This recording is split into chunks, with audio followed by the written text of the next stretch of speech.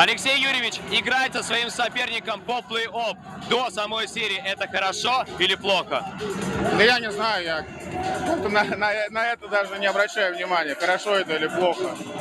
А игра для нас как бы была очень важна, ну вот, и я думаю, что ребята молодцы, справились. Сегодняшний «Спартак» очень хорошо себя показал в силовой борьбе и не только. А как оцените подготовку команды к самой серии плей-офф? Плей-офф покажет, все, что могу сказать. Что еще надо добавить «Спартаку», как на ваш взгляд? Реализацию, я думаю, реализацию. Дорожить моментами и контролировать шайбу. Мы желаем успехов. Спасибо большое.